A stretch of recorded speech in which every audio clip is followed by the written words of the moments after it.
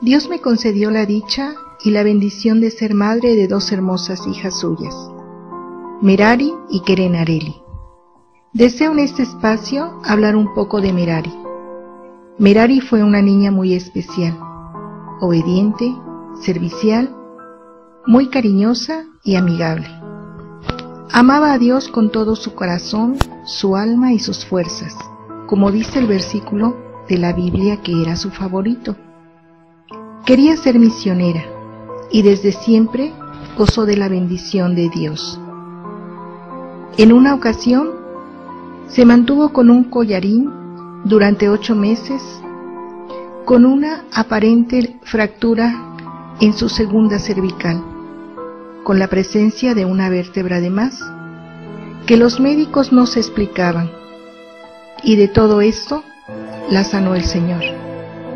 Sirvió en el coro de la iglesia, cuidando de los más pequeños en el área de cuneros.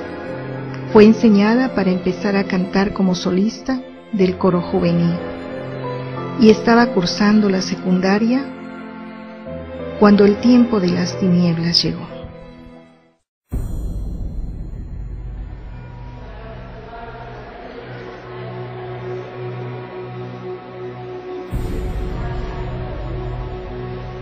No podemos determinar cuál es la causa del dolor. Va a ser necesario hacer una exploración para ver qué órgano es el que se encuentra afectado.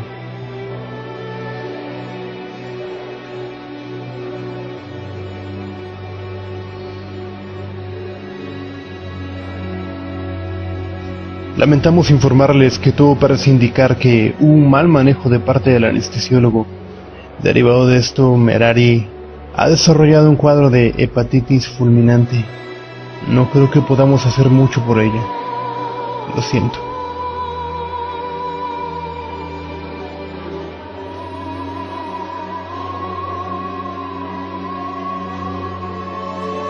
Ya sufrió una encefalopatía Parte de su cerebro ya ha muerto y no entendemos cómo sigue consciente.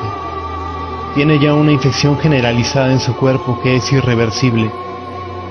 Puede morir en cualquier momento. Creemos que lo mejor es que estén con ella en casa. Lo sentimos.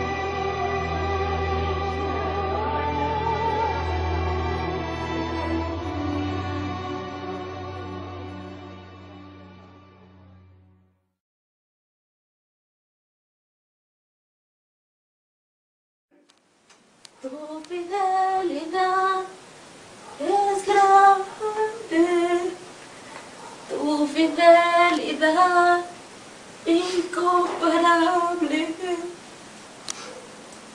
Nadie como tú. No llores, mamá. Allá voy a ser mejor y más feliz en lo que estoy con ustedes. Sigue cantando, mamá. Yo te ayudo. Tu fidelidad es grande, tu fidelidad incomparable.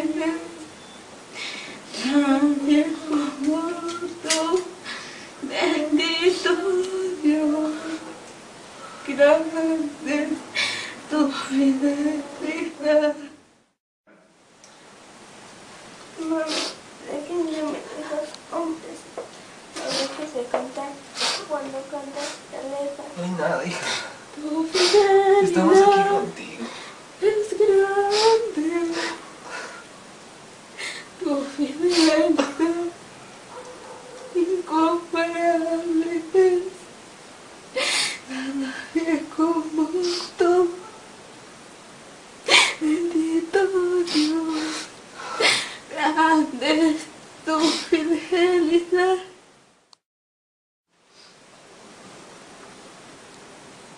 Mami, papi, ya es hora. El Señor Jesús ya vino por mí. Ahí está. ¿No lo ven?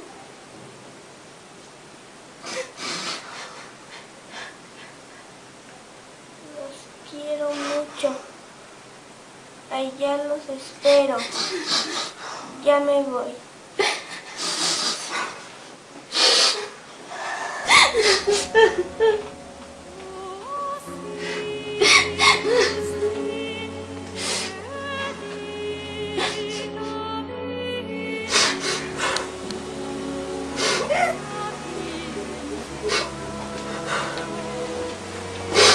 Hermano, ponle en la cama. Se ha ido. Creo que es el mejor momento para dar gracias. Estamos ante ti, Señor, reconociendo que la muerte es la última consecuencia. La muerte no es otra cosa más que la aguijón del pecado. En esta ocasión ha visitado esta familia. Ha destrozado el corazón de ellos, mas no su fe. Te glorificamos, Señor, no por la salud, ni por las consecuencias,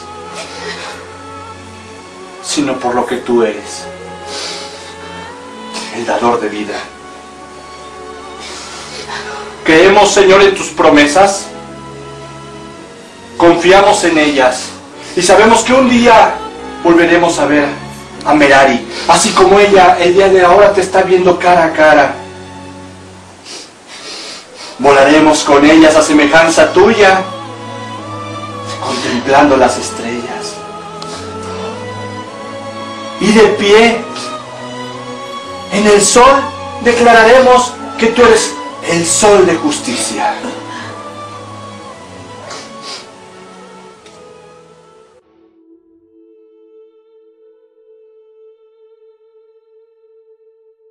El Señor dice en su palabra que quien lo escoge a Él como único fundamento de su vida, no se derrumbará aunque vengan tiempos fuertes y tempestades violentas.